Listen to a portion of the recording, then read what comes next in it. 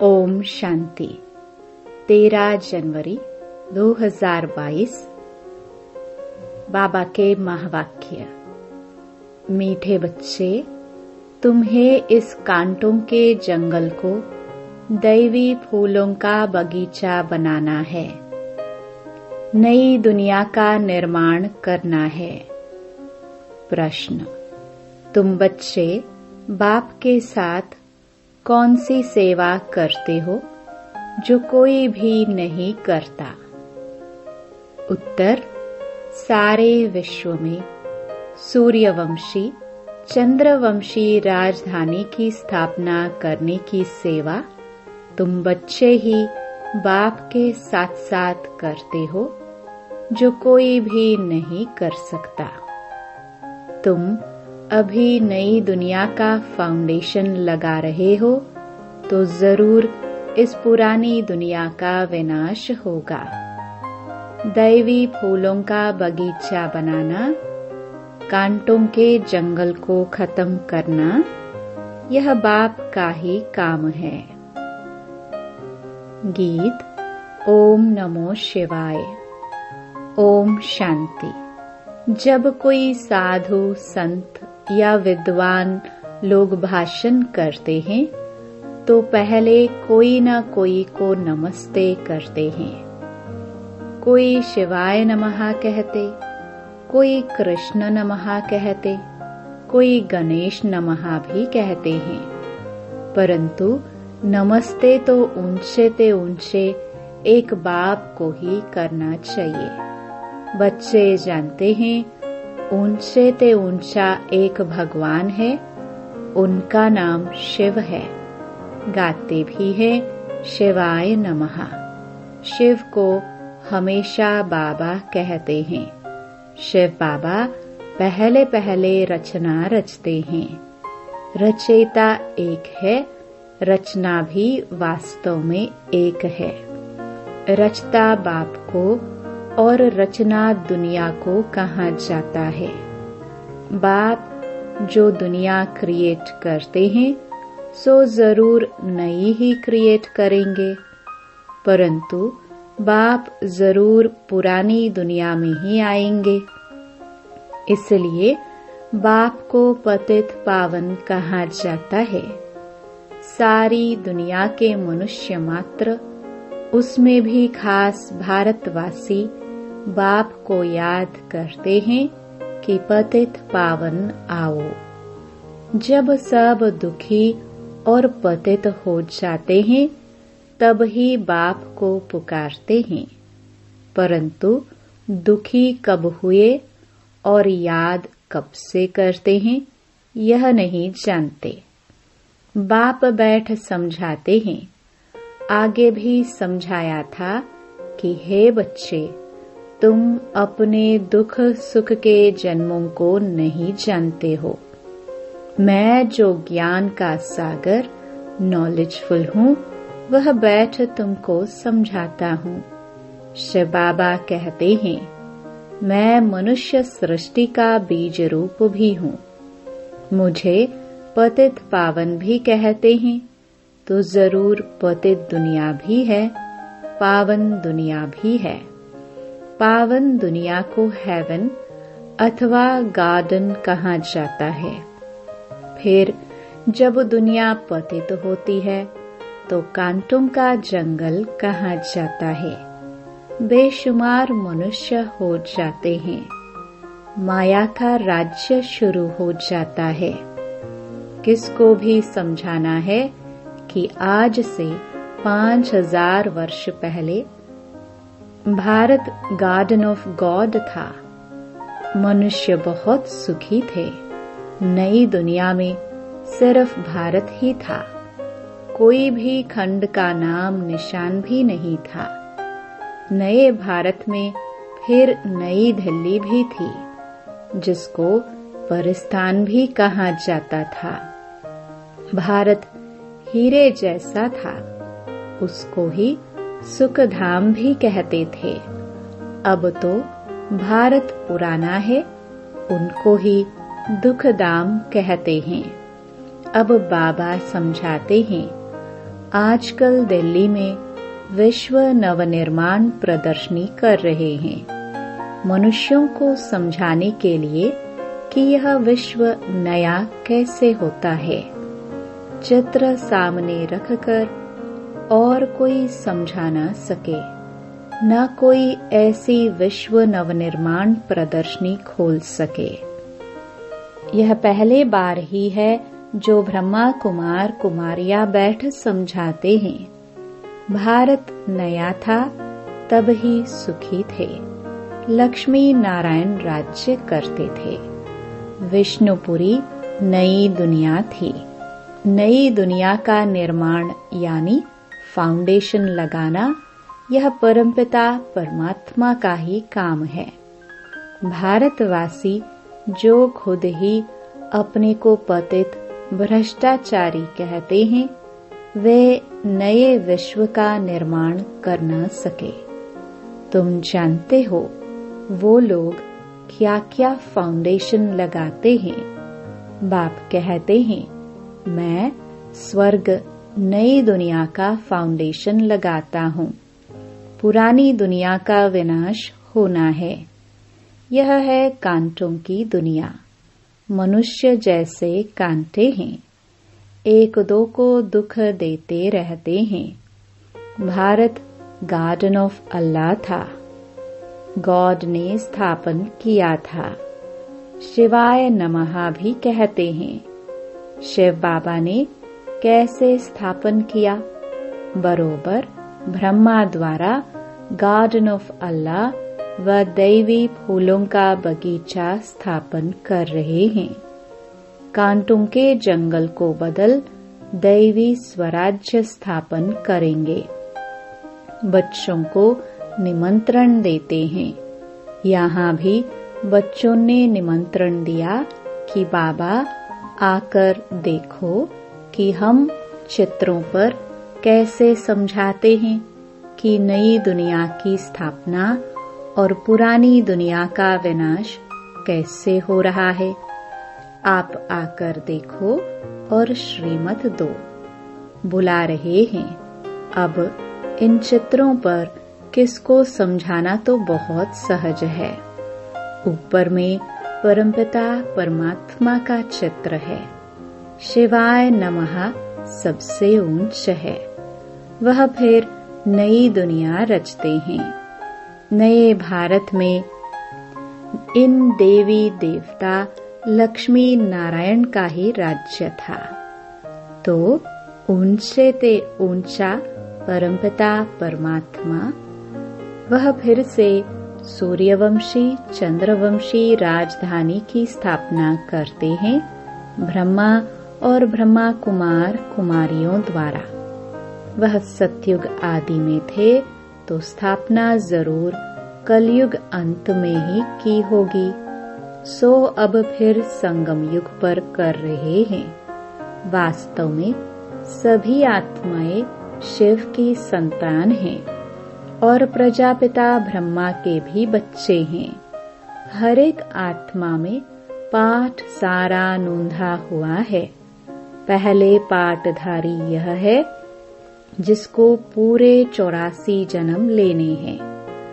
पुनर्जन्म लेने का रस्म तो शुरू से चलता आया है।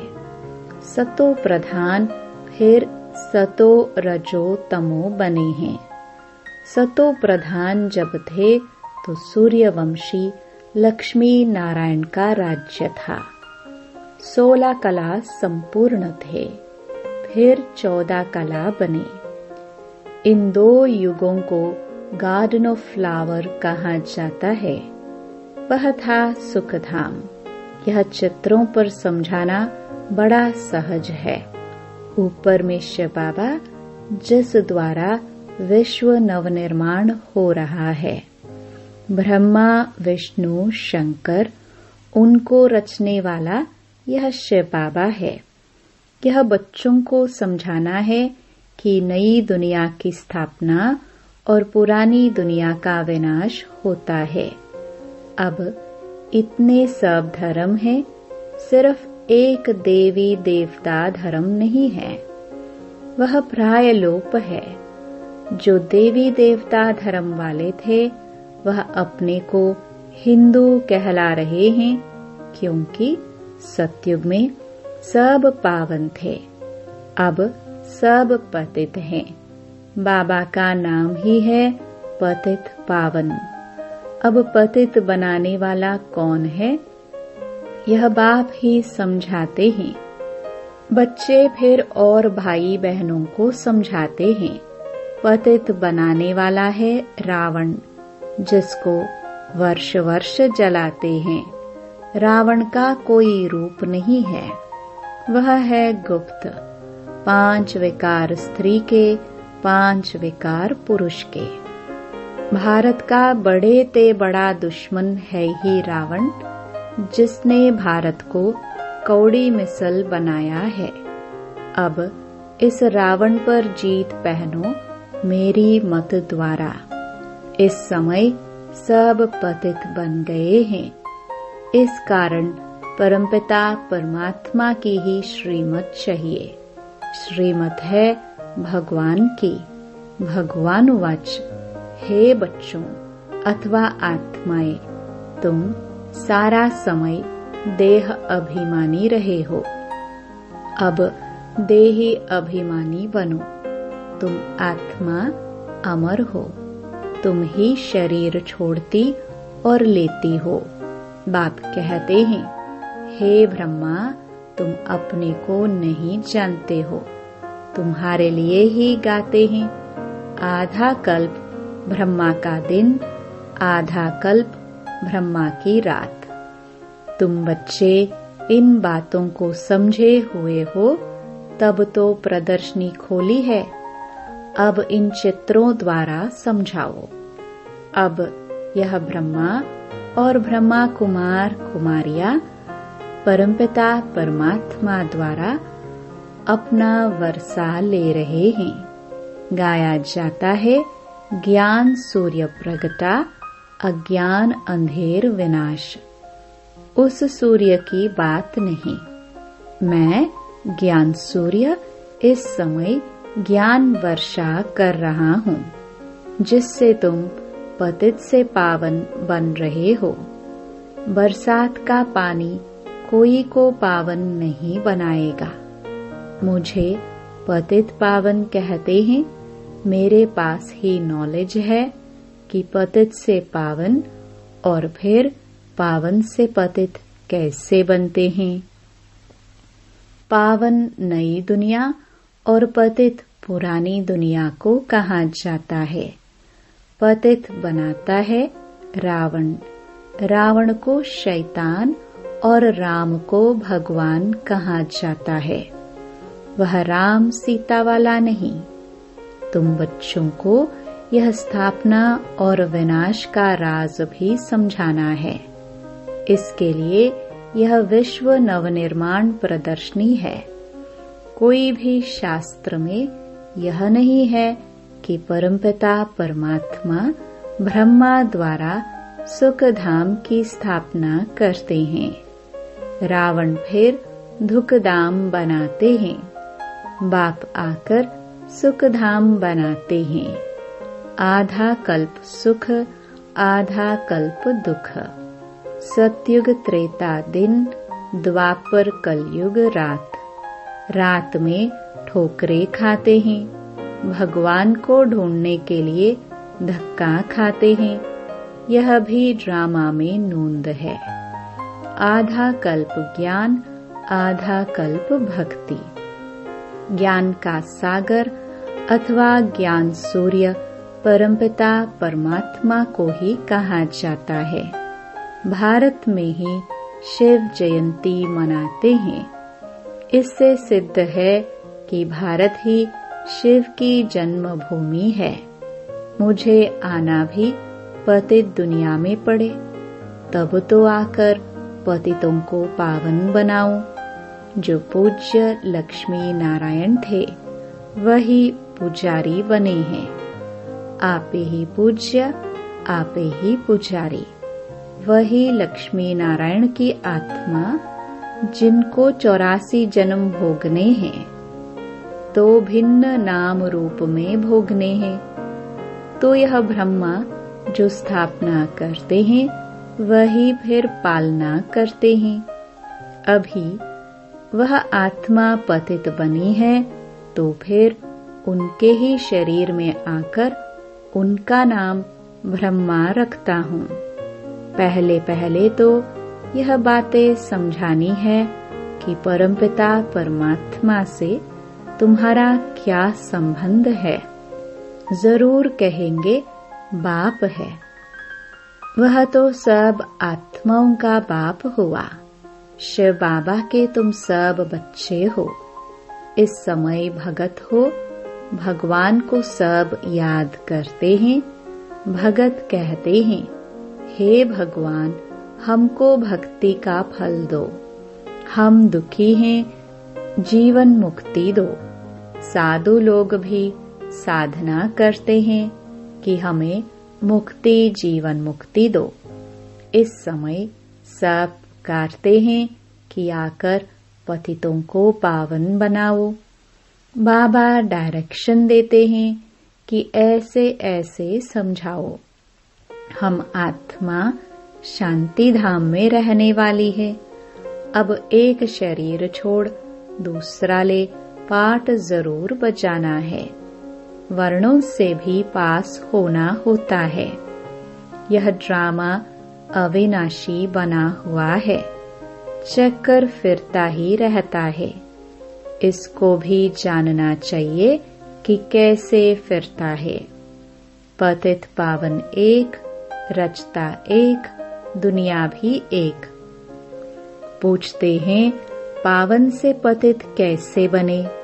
रावण की आसुरी मत पर चलने से पाँच विकार आ जाते हैं।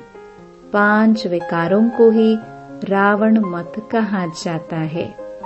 इसलिए रावण को जलाते हैं, परंतु रावण जलता ही नहीं। अब बाप कहते हैं, बच्चे, तुमको इस रावण पर जीत पानी है। जो जीतेंगे वही रामराज्य के मालिक बनेंगे। यह है अंतिम जन्म, अर्थात सृष्टि का अंत है। सृष्टि का आदि भी बाप करते हैं। अंत का विनाश भी बाप करते हैं। बाप कहते हैं, मैं नई दुनिया का फाउंडेशन भी लगाता हूँ और पुरानी दुनिया का विनाश भी कराता हूँ। गाया हुआ है ब्रह्मा द्वारा स्थापना। अब ब्रह्मा अकेला तो नहीं होगा। ब्रह्मा कुमार और कुमारियों द्वारा भारत को गार्डन ऑफ़ दैवी फ्लावर बनाता हूँ। यह तो है कांटों का जंगल। इनको अब आग लगनी है। तुम अब जागे हो। मनुष्य तो सोए हुए हैं। यहाँ तो दुख, अशांति है। बच्चों को हमेशा अपने शांति धाम स्वीट होम को याद करना है। तो स्वीट बादशाही वर्षे में मिलेगी। इस रावण राज्य को भूलते जाओ। भारत जो परिस्तान था, सो अब कब्रिस्तान बना है। फिर परिस्तान बनेगा। यह चक्र है। विश्व नई तैयार हो जाएगी तो पुरानी को ज़रूर आग लगेगी। अब तुमको नई दुनिया के लिए तैयार होना है। फिर वहाँ चलकर हीरे जौहरों के महल बनाएँगे। अब तो झोपड़ियाँ हैं कल्प कल्प पतित दुनिया सो पावन बनती है, पावन सो पतित बनती है। पतित धीरे धीरे बनते हैं। मकान नया जल्दी बनता है। पुराना होने में टाइम लगता है। ज्ञान से तुम नए विश्व के मालिक बन जाएँगे। अब तुम सोलह कला बनते हो, फिर चौदह कला, फिर धीरे धीरे कला कमती होती जाती है। अब कलयुग में है नौ कला। भारत पावन था। अब पतित बना है। यह खेल भारत पर ही है। रावण से हारे हार। अब तुम श्रीमत पर जीत पाते हो। अच्छा मीठे मीठे सिखिलदे बच्चों प्रति माता पिता बाप दादा का याद प्यार और गुड मॉर्निंग रूहानी बाप की रूहानी बच्चों को नमस्ते। धारणा के लिए मुख्य सार। पहला, श्रीमत पर भारत को पावन बनाने की सेवा करनी है। रावण की मत को छोड़ एक बाप की श्रीमत पर चलना है। दूसरा, इस दुख धाम को भूल अपने स्वीट होम शांति धाम को याद करना है। स्वयं को नई दुनिया में चलने के लिए तैयार करना है। वरदान, अपने श्रेष्ठ कर्म रूपी दर्पण द्वारा ब्रह्मा बाप के कर्म दिखलाने वाले बाप समान भव। एक एक ब्राह्मण आत्मा, श्रेष्ठ आत्मा, हर कर्म में ब्रह्मा बाप के कर्म का दर्पण हो। ब्रह्मा बाप के कर्म आपके कर्म के दर्पण में दिखाई दे। जो बच्चे इतना अटेंशन रखकर हर कर्म करते हैं, उनका बोलना, चलना, उठना, बैठना सब ब्रह्मा बाप के समान होगा। हर कर्म वरदान योग्य होगा। मुख से सदैव वरदान निकलते रहेंगे। फिर साधारण कर्म में भी विशेषता दिखाई देगी। तो यह सर्टिफिकेट लो, तब कहेंगे, बाप समान।